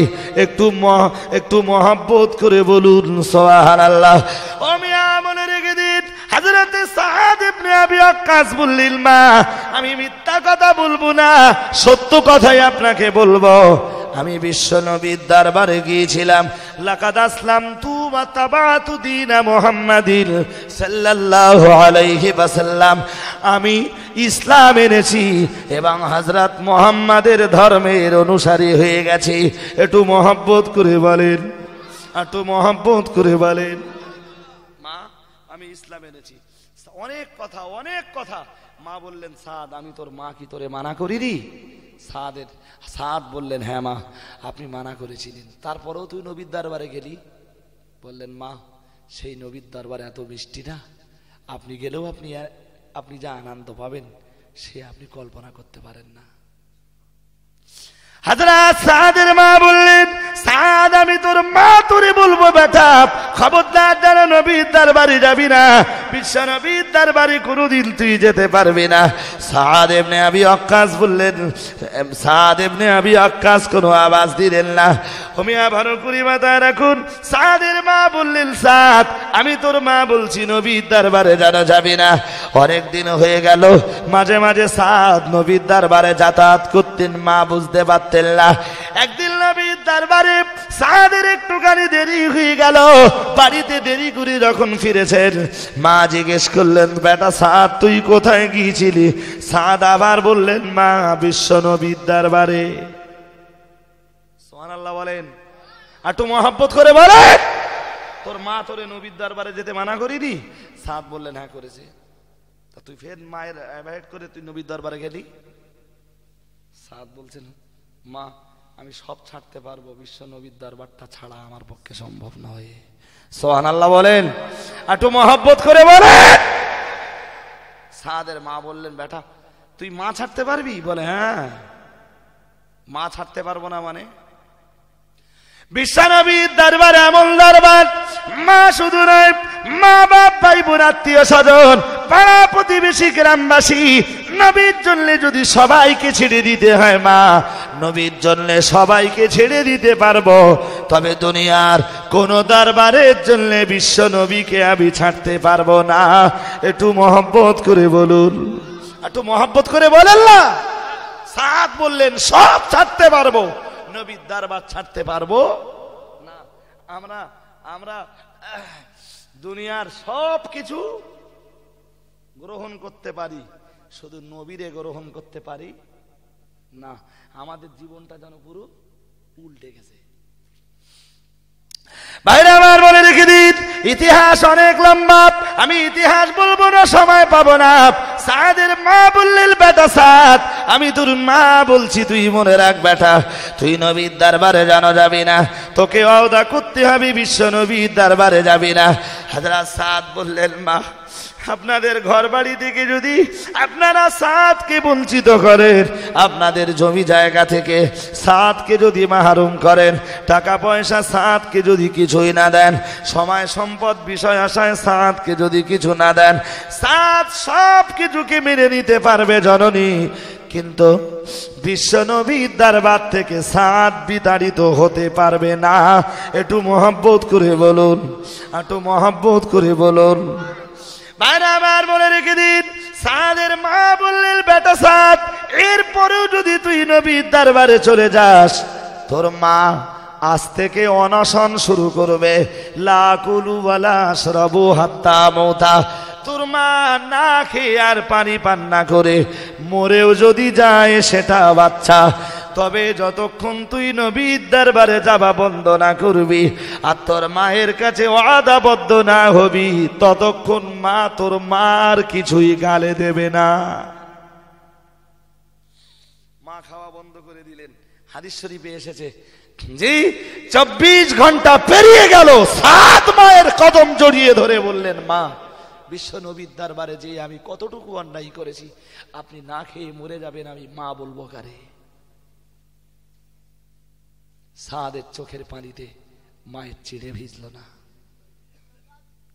আল্লাহর নবী সাহাবি সাদের মা বললেন, সাদ, নবীর দরবারে যাওয়া বন্ধ না হওয়া পর্যন্ত, অথবা আদাবদ্ধ না হওয়া পর্যন্ত, আমি তোর মা আমি তোর মা খানা পিনা করব না।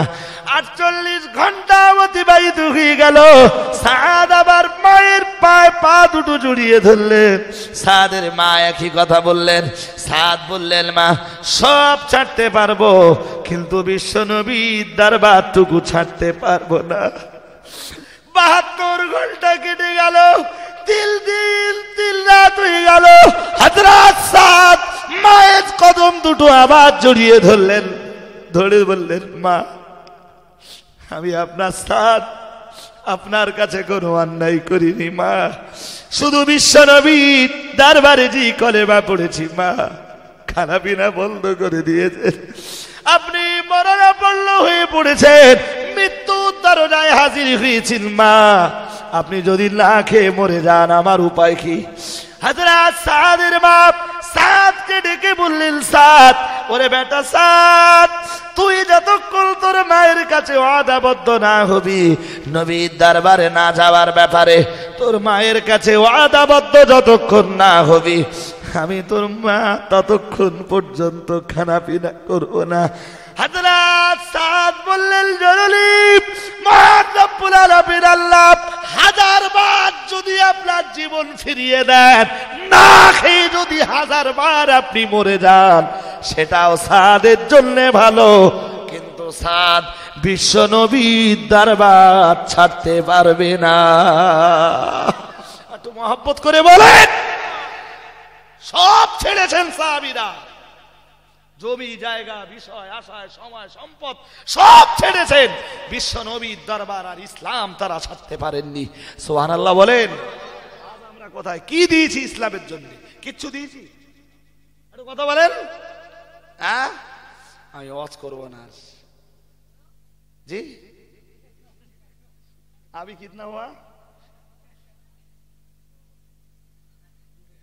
দুটো তেইশ। নেই নেই। अभी डेढ़ घंटा हो गया যে শোনেন আমি বলি আমি এসে বলেছি অজ- অজ করবো এক ঘন্টা গাড়িতে নেমেই বলেছি আজকে শোনেন মালিক রাজি থাকলে আবার যখন আসবো সেদিন আবার হজ করব জি তো আহ, একটুখানি কাজ বাকি রয়েছে হ্যাঁ? ঘন্টা? হ্যাঁ সাড়ে বছর সন্ধ্যাবেলা করে চলে যাবো আমি ইনশাল্লাহ শোনেন। আজকে এ পর্যন্ত বলে রাখেন আসলে শোনেন আমি বলি কালকে রাত্রে জলসা থেকে ফেরার পর থেকে শরীর ভীষণ টাইট আজকে সকালবেলা গোসল করে একদম রেডি হয়ে ভাত পানি কিচ্ছু খাইনি স্কুলে বেরিয়েছি। ছোট ভাইটা স্টেশন পর্যন্ত দিয়ে আসবে খানিক দূর গাড়ি চালিয়ে যাচ্ছি। যেতে যেতে মন খুব একটা ভালো লাগল না মানে শরীরের কন্ডিশন এত খারাপ তখন। গাড়ি ব্যাক করলাম সারাদিন ফোন স্টপ করে দিয়ে শুয়ে। ঘুমও লাগে না, ক্লান্তিও দূর হয় না। তারপরে গলায় প্রচণ্ড ব্যথা ছিল। দু ডোজ ওষুধ খেয়েছি, তাতেও কিছু হয়নি। দুবার কুলিকুচি করার পরে একটুখানি কমেছে। গায়ে এখানে যখন এসছি তখনও জ্বর। এই অবস্থাতে শুধু অদাটা পালন করতে পেরেই আল্লাহর কাছে আমি কৃতজ্ঞ, আনন্দিত। শুধু আনন্দিত না, বিরাট আনন্দিত। জি, দেখতে দেখতে আড়াই বাঁচতে গেল। এমনি এটা সেটা করতে আমার অজের বয়স দু ঘণ্টা হয়ে যাবে। বাকি রয়েছে কালেকশন কারা কি দেবেন? একটু বলেন। কথা শোনেন। কারা কি দেবেন আগে দেখে নেই। উঠবেন না উঠবেন না ভাই। উঠবেন না। উঠির গল্প না না, এক্ষুনি উঠলে হবে না। কাউকে উঠতে দেবো না। আমার কাছে অশুনে চলে যাবেন। আর আমি যখন দান চাইব তখন থাকবে না, এটা হতে পারে না। এস্তেঞ্জার জন্য হলে আলহামদুলিল্লাহ, উঠতে পারেন কেউ। কিন্তু এস্তেঞ্জা ব্যতীত কেউ উঠবেন না এটা আমার দাবি আপনাদের কাছে। আমি এবারে আগামী বছরের প্রস্তুতি পর্বটা শুরু করছি। জি। কে কি দেবেন একটু বলেন। দেড় হাজার দু হাজার টাকা হ্যাঁ? এক হাজার দু হাজার টাকা করে কারা কারা দেবেন? ইসলামের জন্য আমরা কিছুই করিনি। হাজারা সাত তার মাকে ডেকে বলেছিলেন হাজার বার যদি আল্লাহ আপনাকে জীবন দেয় আর সেই জীবন যদি হাজার বার না খেয়ে আপনি শেষ করে দেন তবু আমি সাত নবীর দরবার ছাড়তে পারব না। সোহান আল্লাহ বলেন করে বলেন। হাজরা সাদের মা অজ্ঞান হয়ে পড়ে গেলেন। সাত যখন বললেন হাজার বার যদি আল্লাহ আপনাকে জীবন দেন, আর হাজার বার যদি আপনি না খেয়ে মারা যান মা। আমি বিশ্ব নবীর দরবার ছাড়তে পারব না। সাত এর মা অজ্ঞান হয়ে গেলেন। মা যখন অজ্ঞান হয়ে গেলেন হাজরতে সাদ কাঁদতে কাঁদতে বিশ্ব নবীর দরবারে চলে এলেন। আসসালাতু আসসালামু আলাইকা ইয়া রাসূলুল্লাহ। আসসালাতু আসসালামু আলাইকা ইয়া হাবিবাল্লাহ। আল্লাহ নবী সালামির জবাব দিলেন। হজরতে সাদকে দেখে বললেন, সাদ, তুমি কেঁদো না, সাদ, কেঁদো না। আল্লাহ তালা তোমার চোখের পানি মুছে দেওয়ার জন্যে জিব্রাইলকে দিয়ে আল্লাহ একটা রোমাল পাঠিয়ে দিয়েছে একটু মহব্বত করে বলেন। মহান রাব্বুল আলামিন কোরআন শরীফের আয়াত নাযিল করে দিলেন, ওয়াইন জাহাদাকা আলা আন তুশরিকা বি মা লাইসা লাকা বিহি ইলমুন, ফালা তুতি'হুমা ওয়া সাহিবহুমা ফিদ দুনিয়া মারুফা। মহান রাব্বুল আলামিন আল্লাহ কোরআন শরীফের ভিতরে বললেন, ওয়াইন আমার আল্লাহ বললেন, ওয়াইন জাহাদাকা আলা আন তুশরিকা বি মা লাইসা লাকা বিহি হে আমি হে দুনিয়াবাসীরা মা বাপকে অবশ্যই তোমরা খেদমত করো, যত্ন করো। তবে তোমাদের মা বাপ যদি জীবনে আল্লাহর সাথে কোনোদিন সেরেক করতে বলে, কোরআনের আইনের এগেনস্টে যদি কোনো নির্দেশ দেয়, কোরআন বিরোধী কোনো নির্দেশ যদি দেয়, ফালা তুতি হোমা খবরদার সেদিন যেন তোমার মা বাপের নির্দেশকে তুমি পালন করো না।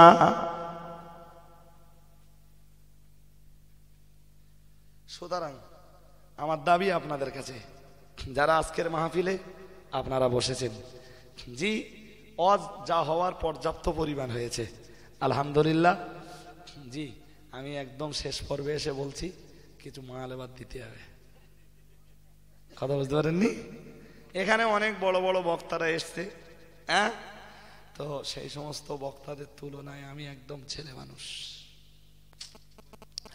ভাইরা, ভাইয়ের মনে রেখে দিন, প্যারা নবী মোহাম্মদুর রসুল্লাহ সাল্লাহ আলাইহি ওয়াসাল্লাম আল্লাহ নবী সাহাবীরা ইসলামের জন্য তাদের সব কিছুকে কোরবান করে দিয়েছে।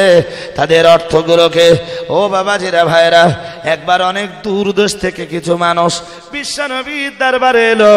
আল্লাহ নবীর দরবারে যখন তারা এলো, সম্পূর্ণ অর্ধনগ্ন অবস্থায় এলো। আল্লাহর নবী সাহাবীদেরকে ডেকে বললেন, সাহাবীরা, আমি মোহাম্মদ সাল্লাম তোমাদেরকে বলছি, আমার দরবারে আজ অর্ধনগ্ন কিছু মানুষ এসেছে। অর্ধনগ্ন কিছু মানুষ আমার দরবারে হাজির হয়েছে। সাবিরা, তোমাদের বাড়িতে যার যে জামা কাপড় রয়েছে, পুরাতন বস্ত্র যাদের রয়েছে, পুরাতন বস্ত্রগুলো বিশ্বনবীর দরবারে হাজির করো। আর তোমাদের বাড়িতে যার যতটা খাবার রয়েছে, খাবারগুলো বিশ্বনবীর দরবারে হাজির করে দাও। আল্লাহর নবী, আল্লাহর হাবিবে সাবিরা নির্দেশ বাবার সঙ্গে সঙ্গে বাড়ির জামা কাপড়গুলো সব বিশ্বনবীর দরবারে হাজির করে দিলেন। এক মুহূর্তের ভিতরে পুরাতন জামা কাপড়ের একটা স্তূপ তৈরি হয়ে গেল আর একদিকে খাদ্যের একটা স্তূপ তৈরি হয়ে গেল। আল্লাহ নবী ওই অর্ধনগ্ন মানুষগুলো ডেকে বললেন, শোনো, তোমরা এই জামা কাপড়গুলো নিয়ে যাও আর এই খাদ্যগুলো নিয়ে যাও। আমার সাবিরা আল্লাহ সন্তুষ্টির জন্যে এগুলো সব তোমাদের জন্য দান করে দিয়েছে একটু মহাব্বত করে বলেন। সুতরাং আপনাদের কাছে আমার এবারে চাইবার পালা। এই জলসা, এটা বাৎসরিক বাদশালার নামই আমি জানতাম না। বছর দুই আগে বাদশালা গ্রামের নাম জানলাম, এরা যখন দাওয়াত করলে আমার। চিনতাম না, গত বছর এসেছিলাম, রাস্তা ভিতরে এত হিজিবিজি, আমায় এখন যেতে পারব না ছেড়ে দিলে। কথা হয়তো যেতে পারব, যে রাস্তায় এসেছি, সে রাস্তায় যেতে পারব না। কথা বুঝতে পারেননি হ্যাঁ? যাই হোক, তো এরা গতবার, গতবারও সেই গেট থেকে নিয়ে এসছিল, এবারও গেট থেকে নিয়ে এসছে।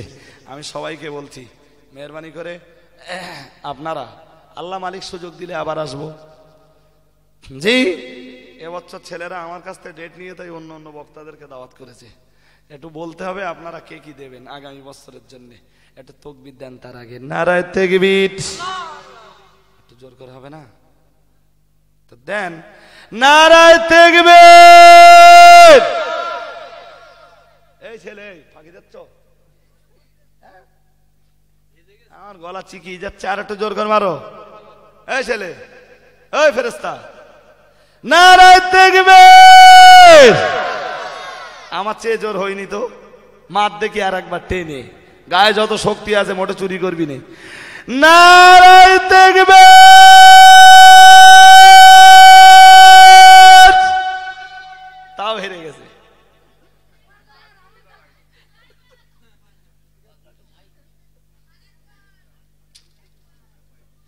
সিলসিলায়ে মুজাদ্দিদুজ্জামান, সিলসিলা হক ফুরফুরা শরীফ অল ইন্ডিয়া সুন্নাতুল জামাত, নারায় দেখবে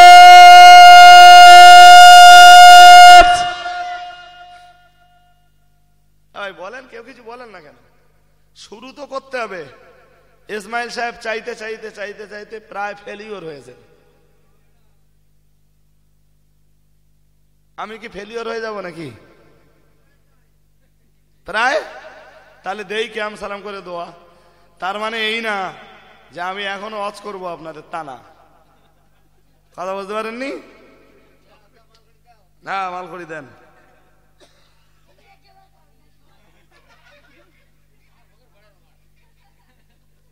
বলেন বলেন, অনেক জোয়ান যুবক ভাইয়েরা রয়েছেন এবং হ্যাঁ?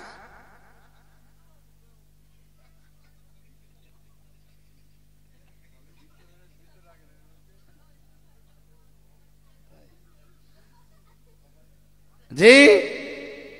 হ্যাঁ ভাই কেউ কিছু বলেন না কেন?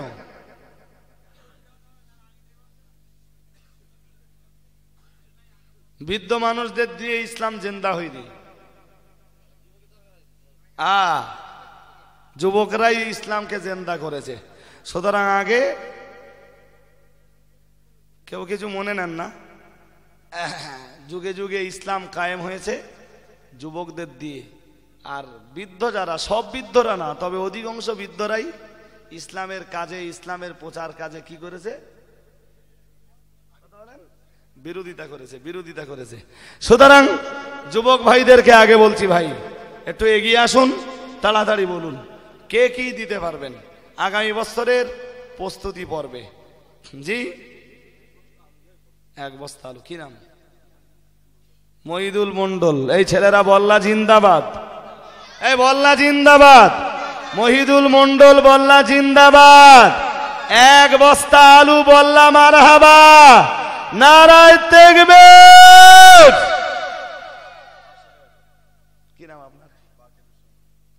বাকের হোসেন মন্ডল বলো জিন্দাবাদ।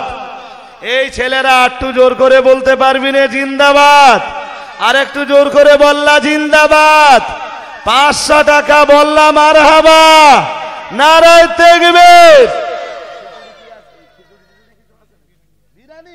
হ্যাঁ খাবি তো খিদে কর।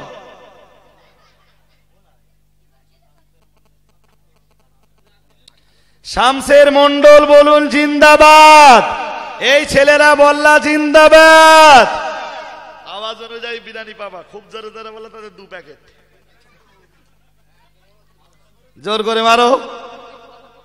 শামসের মোল্লা বলো জিন্দাবাদ। পাঁচশো টাকা বলো মার হবা নারে দেখবেন ভাই, বলেন বলেন।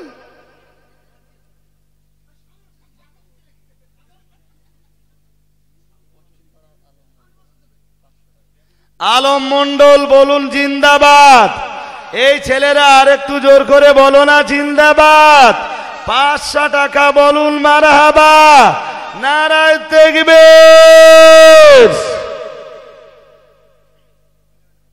হ্যাঁ ভাই বেশি সময় নেন না।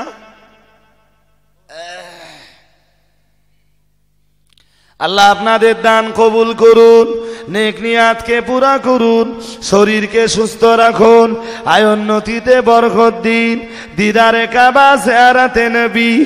আল্লাহ আপনাদের সকলের নসিবে কবুল করে নিন। সকলে বলুন আল্লাহ আমিন। আর একটু মহাব্বত করে বলেন আমিন। নারায় দেখবে শরীফুল মন্ডল বলো জিন্দাবাদ। এই ছেলে বল্লা জিন্দাবাদ। পাঁচশো এক টাকা বল বলুন মার হাবা নারায় দেখবে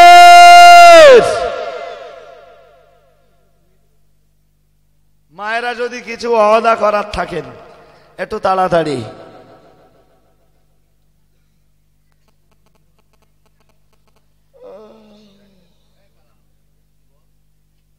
এখানে মুসলমানের বস- বসবাস কতটা ভাই?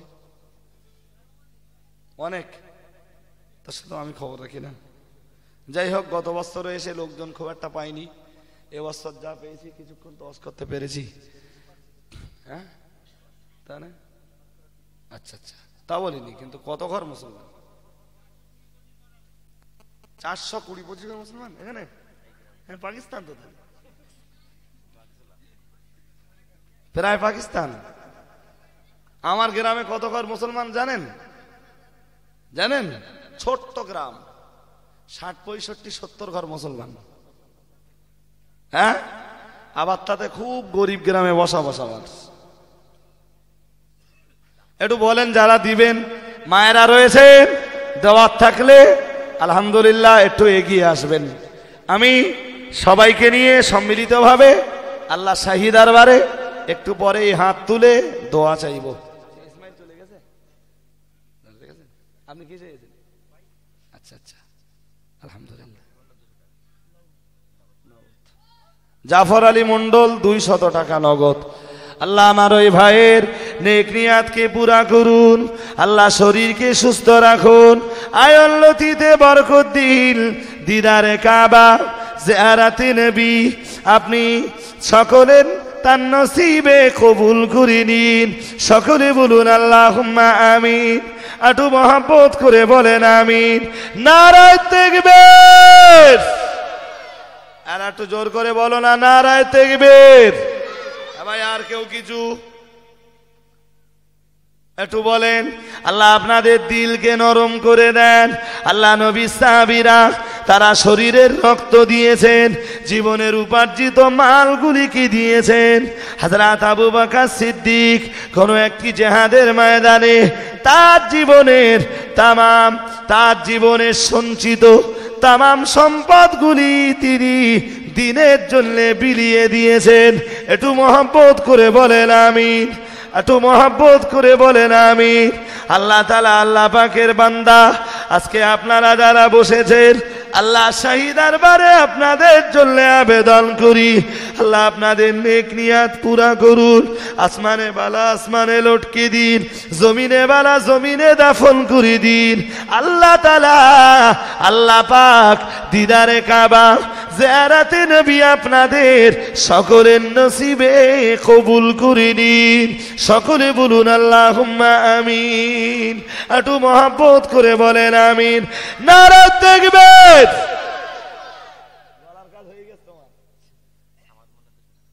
সামাদ মন্ডল দুই শত টাকা। হ্যাঁ ভাই আর কে রয়েছেন? একটু আগান। পর্দায় আমার মায়েরা রয়েছেন। আপনাদেরও এগিয়ে আসতে হবে। আল্লাহ পাক আপনাদের নেকরিয়াতকে পুরা করুন। সংসার জীবনে শান্তি দিন। আলাওলাদকে আল্লাহ সুখে রাখেন। আসমানে বালা আসমানে লটকে দিন। জমিনে বালা জমিনে দাফন করে দিন। দিদারে কাবা, জিয়ারাতে নবী আল্লাহ আপনাদের সকলের নসিবে কবুল করে নিন।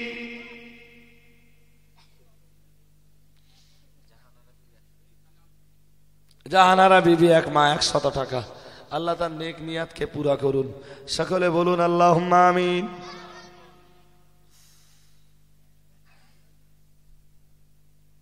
আর এক ভাই এক বস্তা আলো এমনি ধান ধান চাষ টাস হয় না হয় কিছু বলে না, তো চাল টাল কিছু বলে না।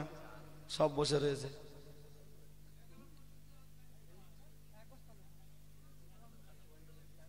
একটু বলেন ভাই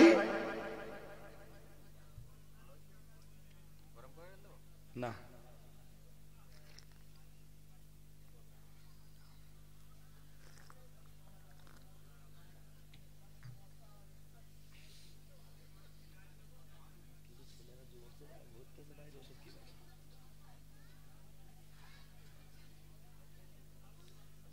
এবার কেউ বলবেন, আল্লাহ রহমতের বাজার ভেঙে যাবার পথে। একটু বাদেই রহমতের বাজার ভেঙে যাবে। ক্যাম সালাম করব, দোয়া মোনাজাত করব।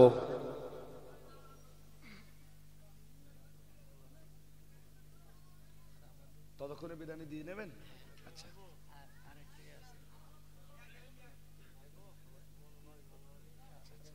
ঠিক আছে। আসুন সোনার মদিনায়। নবী পাকের প্রতি একটু সালামের নাজরা না পড়ে নেই।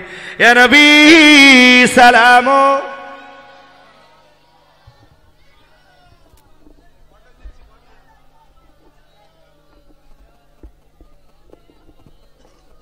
হ্যালো।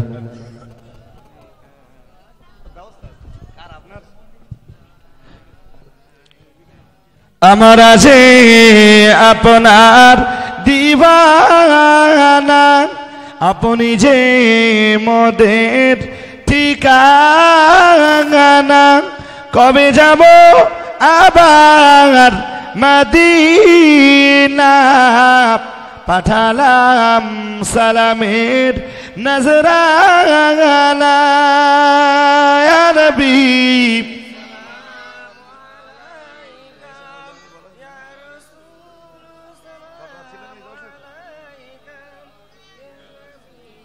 يا حبيبي سلام عليك صلوات الله লও সালাম প্রাণের পয়গম্বর আমাদের কাদা ওনার লও ডেকে জীবন নেশাবার দেখিব রজা আপনার নবী সালাম ইয়া রাসূল সালাম ইয়া হাবিবি সালাম আলাইকা সালাফাতুল্লাহি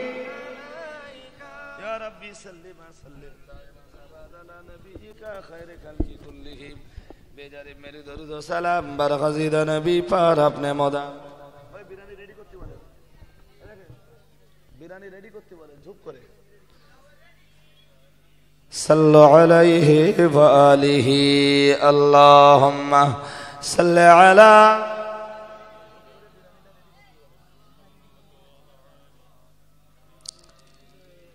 ভাই তিন খতম করণ শরীফ এমনি পঠিত আছে আজকের এই মজলিসের জন্য সাবরেসানি উপলক্ষে। তো বিদায়ী দোয়া মনাজাতের আগে আপনারা একবার সোরা ফাতেহা তিনবার সোরা এখলাস কয়েকবার দরুদ শরীফ, আরও একটু পড়ুন। বিদায়ী দোয়া মনাজাত হবে, বাইরে কেউ থাকবেন না। আউযুবিল্লাহি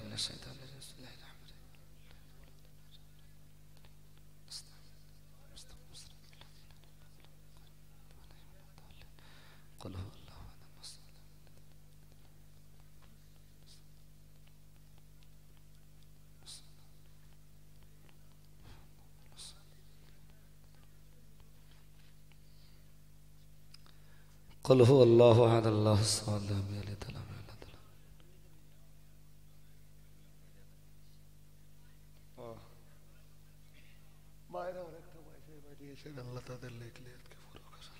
اللهم صل على سيدنا আপনারা দিতে শুরু করে দেন দেওয়া শুরু করে দেন ভাইদের বাবুজিদেরকে দিয়ে মায়েদের দিকেও পৌঁছে দিন সবাই দিলটাকে নরম করুন বিদায় দোয়া মানাজাতের জন্য হাত তুলুন আল্লাহ আমিন আলহামদুলিল্লাহ রাব্বিল আলামিন আসসালাতু ওয়াসসালামু আলা রাসূলিহিল কারীম ربنا ظلمنا أنفسنا وإن لم تغفر لنا وترحمنا لنكونن من الخاسرين ربنا آتنا في الدنيا حسنة وفي الآخرة حسنة অকিনা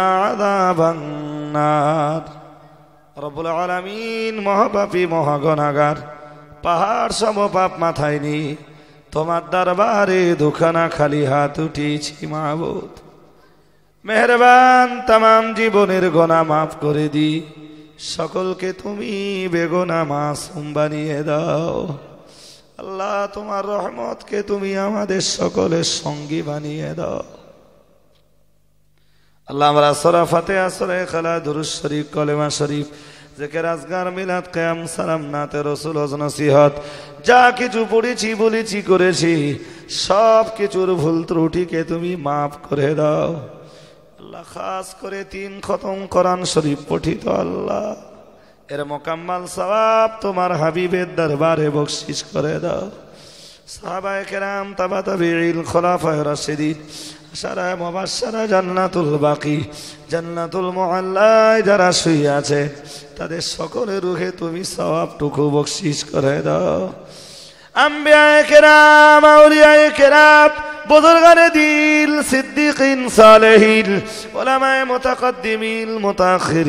কুল মুসলিমাতের রুহে বকশিস করে দাও। আল্লাহ খাস করে ফুরপুরা শরীফের মোসাদ্দেদে জামান। আল্লাহ হজরত দাদা পীর কেবলা রহমাতুল্লাহ রাইখে রুহে বকশিস করে দাও। দাদা পীরের রোহানির এক দোয়া তুমি আমাদের সকলের নসিবে কবুল করে নাও। রবুল আলমিন, তোমার শাহী দরবারে করুন মিনতি আল্লাহ। বসিরাটের বড় মাওলানা আল্লামা রোহানবীর রহমাতুল্লাহ আলাইহে রুহে বকশিস করে দাও। আল্লামা হুজুরের রুহানির এক দোয়া আমাদের সকলের নসিবে তুমি কবুল করে নাও। আল্লাহ, আমরা যারা তোমার শাহী দরবারে হাত উঠিয়েছি, আল্লাহ, আমরা মা হারা, বাপ হারা, ভাই হারা, বোন হারা